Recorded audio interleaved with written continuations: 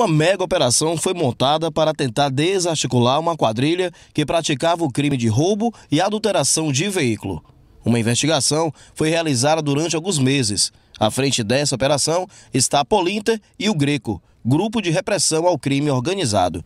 Segundo informações, a quadrilha atua no Piauí, nas cidades de Teresina, Parnaíba, Picos, Pedro II e também no estado do Maranhão e Minas Gerais.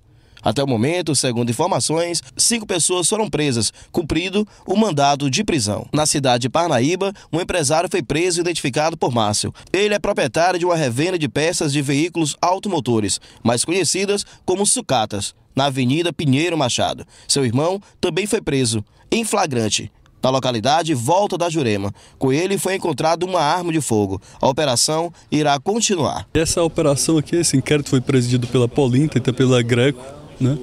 E nós aqui da Regional de Parnaíba ficamos encarregados de alguns de cumprir alguns mandados de busca e de prisão. Né? Cumprimos em um dos alvos da busca encontramos o, o Márcio que foi preso em virtude de mandado de prisão temporária. E em outro alvo lá na volta da Jurema, no município de Caraúbas, foi apreendido o irmão dele já por poste ilegal de arma de fogo e ele foi conduzido em flagrante para cá, para a central de Parnaíba. Segundo o delegado, o proprietário Márcio será encaminhado para a cidade de Teresina, onde ficará à disposição da Polinter. Exatamente, ele vai ser levado à Polinter para ser interrogado e aí ficar à disposição da justiça.